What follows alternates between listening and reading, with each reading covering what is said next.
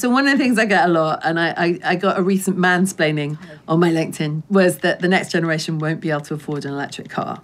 Now, the point is, we're not going to be static on electric cars. The early adopters, yes, they were expensive. Of course they were. That's that is what happens in a technology curve. And we're rapidly coming down that curve. And in the future, they're going to be cheaper. And, and why are we getting in the way of things that we can absolutely solve by backwards looking arguments?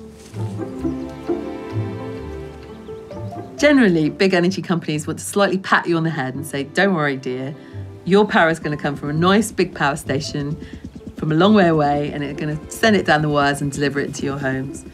And that's completely the opposite of what we want to do. We want to say to you, you can generate your power either at home or locally, or buy it from generators locally and get involved. My vision is it's absolutely in the realms of possibility to get to 100% renewable energy. So let's figure out how to do it.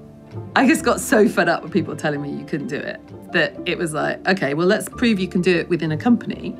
And my vision is you just replicate what we do as good energy and do that at a country level, then a planet level. Why not?